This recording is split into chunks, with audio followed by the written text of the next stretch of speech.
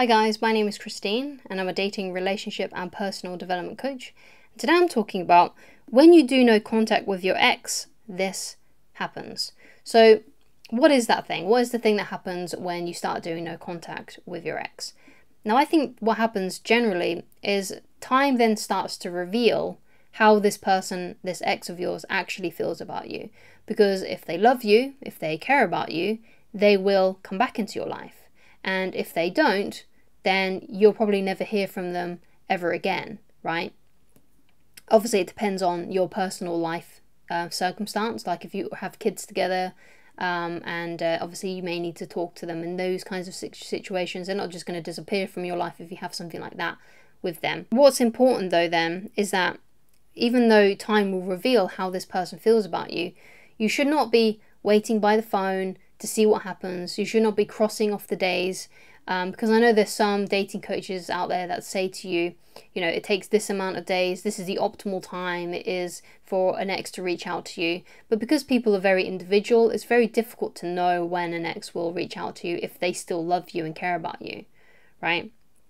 Because ultimately, no contact will only work on a woman or a man, an ex that um, still loves and cares about you. It will only ever work on those people, right? An ex that doesn't love you, that is relieved that the breakup has happened, and they're happy with their choice to leave you, you'll just never hear from that person ever again, okay? So, crossing off the days, you know, going to your calendar and, you know, crossing off the days until, let's say, like three months has gone by or six months, you know, is not going to help you. It's just going to keep you stuck. It's going to keep you stuck in place. And you don't want to be stuck when it comes to this sort of thing because if you are stuck, then it's preventing you from moving on. And uh, you don't want to be in, a, in that kind of situation where you're being prevented from moving on because you're crossing off the days for when no contact is going to end um, on the ex- on the expected date that they're going to come back. If you found a date that uh, perhaps they may come back on, or a dating coach has given you um, a, a specific date when that kind of person would come back, right? An ex would come back after no contact. But you don't want to be taking any of that too seriously. Um, you shouldn't be crossing off the days. You shouldn't be waiting by your phone, hoping they're going to contact you, waiting for the optimal moment when they're going to contact you, because that is just going to keep you stuck and it's going to prevent you from moving on. So when someone breaks up with you, you should start the moving on process, right? So that means um, removing any emotional triggers, perhaps. Um, obviously, it takes time. So I'm not saying that you're going to forget about your ex instantly after a breakup because that's ridiculous. We're all human beings after all. You're not a robot. You can't just switch off your emotions. Um, so these sorts of things does take time, but you need to help yourself as soon as possible, and that is by removing any reminders, any things that can um, you know make you feel like you're going backwards basically um, you may need to remove them off social media um, remove any photos that may be on your phone um, remove any and all reminders basically whatever you know whenever possible. Okay and then just remind yourself that you're going to need to have time um, you need time when you've gone for a breakup to get over it and to heal okay? So being um, not too hard on yourself either, because sometimes it can seem like people can move from relationships really fast. That's why sometimes you may see on social media, you know, some people going from one relationship straight into another, and it looks like the, the, the whole thing was seamless and they just didn't care at all. Now, there may be cases where that person didn't care, but most of the time, people do care when they've had a breakup. Um, even if they were the one that did the dumping, there's still some sort of like feeling there um, not necessarily I want to get back with that person kind of feeling, but it kind of shakes up your world when you um, remove yourself from someone's life. You know, especially if you're together for a long time, like the untangling of mutual friends. Um, you're, if especially if you did like almost everything together. So when that thing kind of stops, you know, this person, your ex or whatever, may be living a new life now, and it's going to be very different, very strange for them, just like how it is for you. Okay, so um, you know, it does take time even for that person, even if they, it seems like they've moved on really quickly. Okay, it does take time. It really does. So don't be hard on yourself if you have a bad day, right? If you have a bad day where you feel really sad, you feel really grumpy, you miss them, especially if you didn't want the breakup to happen and you feel sad about it, right? It's okay to feel sad about um, someone dumping you and someone breaking up with you when you didn't want the breakup to happen, right? You love them, you care about them, you have feelings for them. So, of course, you're going to feel sad, right? So, don't feel like you need to switch off your emotions and to become bitter or angry or, or even, you know, really mopey and, and sad, right? You're going to have days where you feel probably all of, maybe all of those emotions in, in the space of an hour, right? But you've got to be able to understand that you're a human being and it's okay for you to feel those things, okay?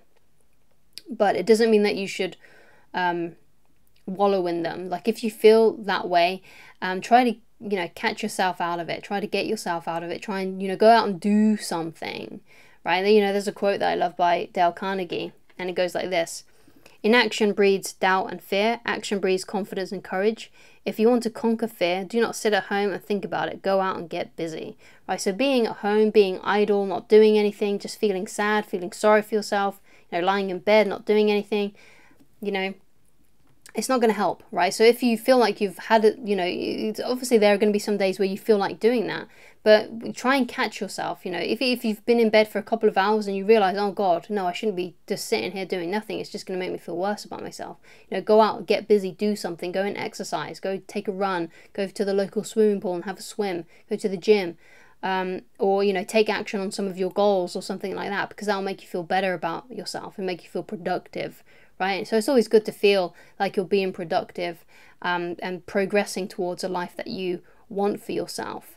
Um, that's one of the best ways I feel like you can get over someone is by having new things that you're trying to work towards, trying to figure out where you would like to be in let's say like five years or ten years, and then start taking action every day to pro you know to make progress. Because if you feel like you're making progress in your life to a goal, then you start to feel better about yourself and more confident about yourself. It doesn't even matter if you reach it or not, right? All that matters is that you're doing something that's productive and that's going to help you and help your future. Okay, so one of the, the main things then that will also help is working on your confidence and your self esteem issues. And I feel like taking action, doing stuff, not just sitting at home doing nothing, will be one of the best things that you can do to help with that. Okay, because um, you know when you get dumped, when you've gone for a breakup, it hurts and it does knock your self esteem. It does make you feel bad about yourself, like, oh, what's wrong with me? Is it because I'm ugly? Is it because, you know, um, I did this or that? You know, and there may be, you know, been some things that you did in that relationship that perhaps you need to work on. Perhaps, you know, you need to like look back on the relationship and think, okay, what were the things that maybe I did to contribute to this breakup, right? Because there must have been a couple of things, right? Not everybody is um, getting away scot free, you know, with you know the the conclusion of the breakup, right? There's probably some things that you did do that you probably could have done better, that you could have addressed better. So perhaps one of the things was like your communication problems. Maybe you didn't communicate very well with your partner. In that case, I highly recommend a book called, um, it's a very, very famous, popular book. I'm sure, I'm sure you've heard of it. And that is uh, Women, um, I think it's Men Are From Mars and Women Are From Venus. And that shows you the differences between communication with men and women. So if you get that book, right, then you'll be able to see perhaps how you may have contributed via your communication to the breakup. Obviously, it depends on how long you were together. That book is more for people that were in long term relationships, so relationships that lasted probably like more than a year. Um, and they're really good for people that are in marriages to learn how to understand the opposite sex and how the other opposite sex communicates right? So I think it's uh, really good wisdom, and I highly recommend that you go and check out that book if you feel like that was one of the issues that you had when it came to communicating with the opposite sex. You didn't understand them, and uh, perhaps um, maybe they felt neglected by the fact that you didn't understand them and didn't try to understand them, or something like that. Like, I'm not trying to assume what you've gone through, but one of the main reasons couples do break up is because they feel like neither one of them understands each other. So if you get a book like Men Are From Mars and Women Are From Venus, that will help fill in your knowledge gap, right? And it's a book that I recommend that you read a couple of times, not just once. Go over it and over it again, you know, and keep on going back to it because it will help you um, cement those ideas into your psyche, into your consciousness, so then it'll become instinctual. Okay, so those um that's my advice basically on you know no contact and one of the things that will happen when you're not when no contact starts and how your ex will respond to it you know if, if your ex loves you essentially still cares about you they will get in touch eventually. Time will reveal how your ex feels about you but don't wait by the phone. Don't cross off the days. Do not wait. Start moving on with your life and try to make some progress in your life so you can start feeling better about yourself so you can deal with those self-esteem issues and confidence issues Okay, so thank you so much for watching. If you'd like to get in touch with me personally, then please go to www.christineloveridge.com. Thank you so much for watching, and I shall talk to you again very soon. Goodbye.